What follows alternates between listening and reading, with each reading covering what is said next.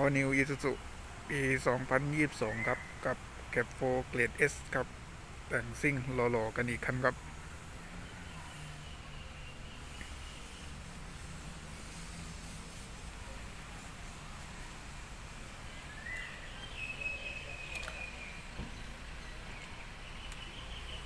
พร้อมออกวันนี้นะครับ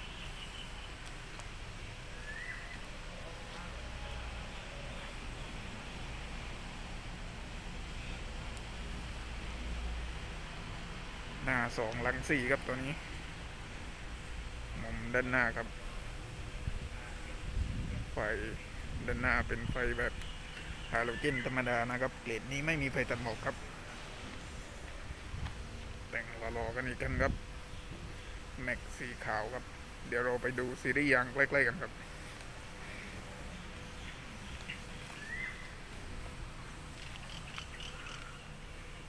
ลายแม็กครับ รีส์ยางอยู่ที่สองสี่ห้า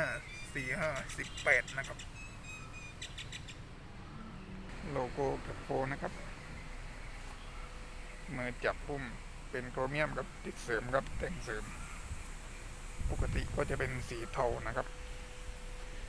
มาดูซีรีส์ยางด้านหลังครับ ด้านหลังสองเจ็ดห้าสี่ศูนย์สิบแปดนะครับ ใส่ยางซิ่งเลยครับตัวนี้ ไปดูด้านท้ายกันต่อครับ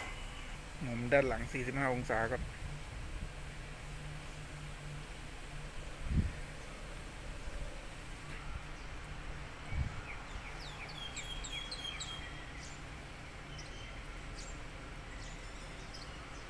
เตี้ยมากครับตัวนี้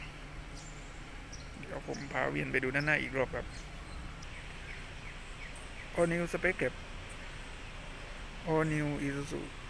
D-Max Cap 4นะครับ เกรด S แต่งซิ่งครับ Isuzu หาดใหญ่สำนักงานใหญ่ครับใครชอบก็ฝากกดไลค์ครับ กด Subscribe เพื่อดูคลิปต่อไปนะครับ ว่าจะมีรถเกรดไหนแต่งออกจากโชว์รูมนะครับ ผมจะถ่ายมาดูให้เป็นตัวอย่างกันเรื่อยๆนะครับสำหรับคลิปนี้ สวัสดีครับ